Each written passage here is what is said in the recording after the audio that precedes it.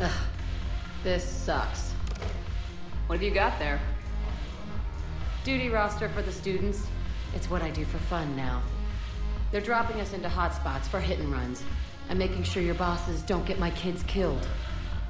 How are they holding up? They're fine. They're not the ones reading duty rosters while on shore leave. Complain if you like, but I think military life suits you. Hey, running back to the Alliance was your lifelong dream, not mine. Come on, plenty of combat, free room and board, and people you can depend on. Yeah, yeah. Maybe your little suicide squad taught me something about teamwork. Speaking of which, thanks. I didn't think my guys could cut it. I wanted to put them in the back ranks, but you believed. And you were right. They're kicking ass. It'd be a hell of a lot more fun with you. You find bigger fights. But the little shits are useless without me. I gotta stick with them. Cause I'm dependable now, apparently. I blame you for this, Shepard. Come on. What? The duty rosters can wait. Right now, you're on shore leave.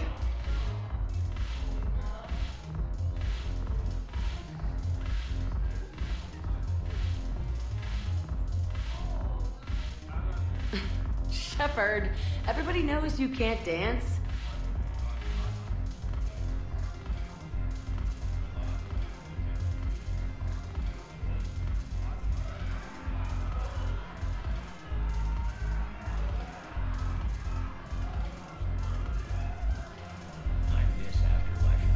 Yeah, this place is so freaking sweet. I'm curious. What material is your face made from? The surface is a flexible biomimetic nanomaterial over a metallic skull. The skin uses shear thickening technology to help protect the central processing unit in the head. If the skin is struck or shot, it solidifies to absorb the impact. It also is capable of limited self-healing. And what about the hair? It is of similar construction. For defense, I have set it to cohere into a solid piece. However, for infiltration purposes, it can be parted into individual strands. If it has recently been exposed to water, I generally can't do a thing with it.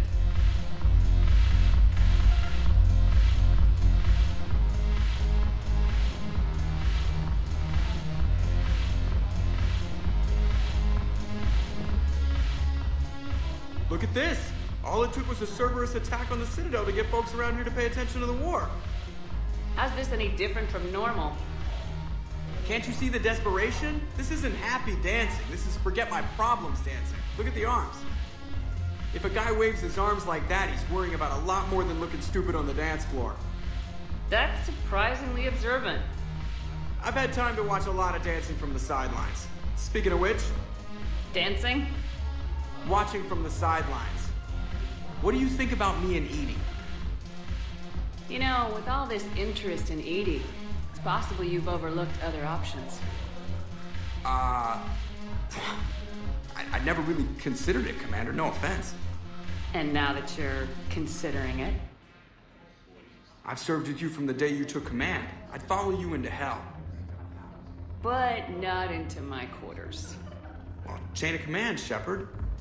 In an alternate dimension without military ranks, I would rock your world.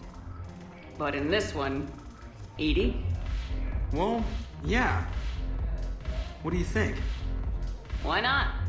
Because I could break a bone just from some light over the clothes action? Eh, It's always a risk. But then so are the Reapers. Yeah, I wasn't planning on dating Harbinger. You know what I mean. If we all ended up dead this time tomorrow, what would you regret? Getting a shattered pelvis and a broken heart.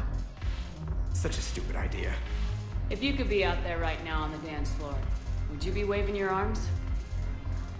Yeah, Sounds like you got bigger things to worry about than looking stupid. yeah, guess I do.